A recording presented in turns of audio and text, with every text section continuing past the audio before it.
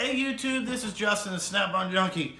Uh, today I'm going to make this video. Uh, so this weekend, um, I got a pretty big project here coming to the shop uh, that I'm going to share with you guys. Uh, we are going to be rebuilding a uh, basically a C15 Caterpillar in a uh, long nose 379 Peterbilt. Um, what I know about it is is that it blew a head gasket and uh, it's leaking at a head gasket pretty bad. So uh, the guy wants us to take the head off and look at it. I think we're going to end up putting liners and pistons in it. Uh, that's just my opinion, but what it is. And so uh, it's pretty hectic. And to work on a cat, it takes some specialty stuff. So I thought I'd like to show you what my snap-on stuff that I have that is specially for a big leader cat.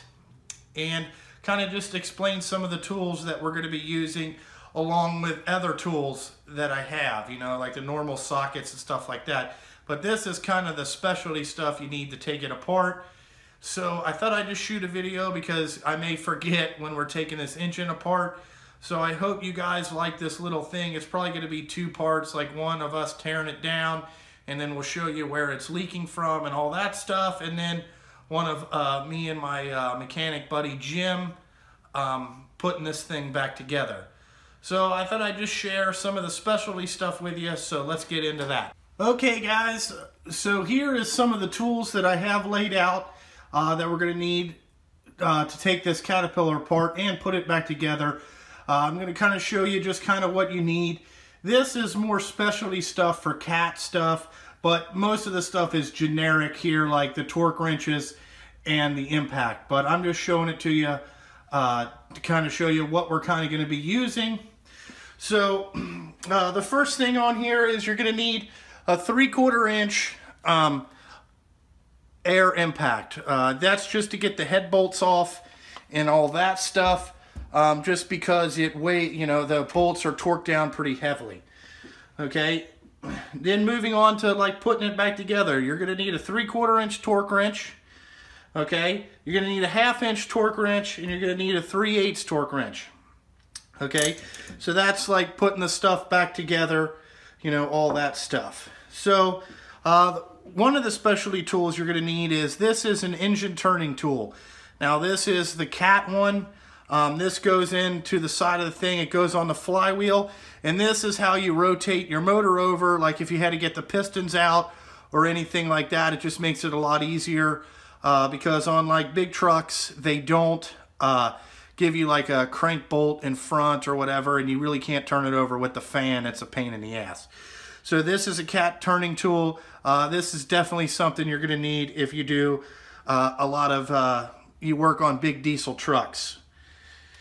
So there's that. Now this little socket right here, okay, if you can see that, Okay, this is a 5-inch pipe plug, okay? And the part number on that is SHR20, okay? And this is just a 5 8 plug. And what this does is this takes out a plug that's in the cylinder head somewhere.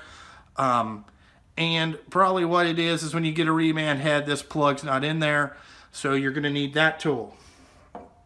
Okay, now this is just a regular half inch plug uh, this is how you would open up your, uh, you know, you would open up your oil drain or whatever because they use a different internal broach system and this is half inch pipe. So the part number on that is PPM516A here. Okay. Now another specialty socket that you need is this 11 16 uh, socket. You can see its impact here. Now what makes this different than any other 11 16 is the length and how it is broached inside this hole here. Okay, and this I believe takes off something in the overhead. I'm not sure. I just know that uh, it was on the cat list when I asked uh, my Snap-on guy about it, so I got it. Uh, the number is S62220. Okay. Now, this socket is a three quarter inch impact socket again, but it's three quarter inch drive 12 point. And how this is turned down on the outside, how it's necked down here, a regular three quarter inch socket would be a lot thicker. But this is how you get the head bolts off. Okay, this is just kind of a specialized thing that they make for for just Caterpillars. Cummins ISX has one too, and I have that one too. So that part number is IMFDL242. Okay, so this socket is another socket that you're going to need uh, when you work on Caterpillar stuff. And then this final tool here, uh, this is what you call an injector height tool. Now this is more important when you go when you put the engine back together and kind of how you run your overhead. Um, this is how you set your injector depth or kind of like your uh, lash on your camshaft. This sits on there and then you have a measurement uh, somewhere and it goes back together. I really don't know how to do this yet. I've seen it done, but uh, I learn a lot better from doing it. So we're going to go through this together. So that's just some of the specialty stuff you need for cats and uh, working on cat engines. So uh, I hope you guys like this adventure that we're going to go on starting this week. Alrighty guys, well after I just showed you the tools here, um, I really hope that you guys check out this little, you know, two-part series that I'm probably going to be doing, uh, that we will be doing about rebuilding this cat engine. Um, I thought I'd like to, you know, share this with you just to, you know, show you guys that I can work on stuff and uh, really just to demonstrate on how to put a cat motor back together and understand some of the specialty tools that you need uh, for you young techs out there or anybody else that would like to tackle this project. Uh, this is a pretty big project. I'm pretty excited about it um, because I want to learn how to do this. You know, like always, guys, like, comment, subscribe. And uh, I've been talking to some other YouTubers, and they seem to be getting free stuff sent to them by subscribers. I haven't got anything free yet.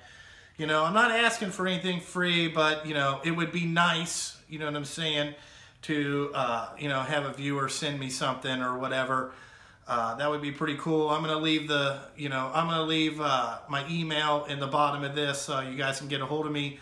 I'll give you my home address and stuff like that. And you can tell I got my new Snap-on zipped hoodie on that I absolutely love.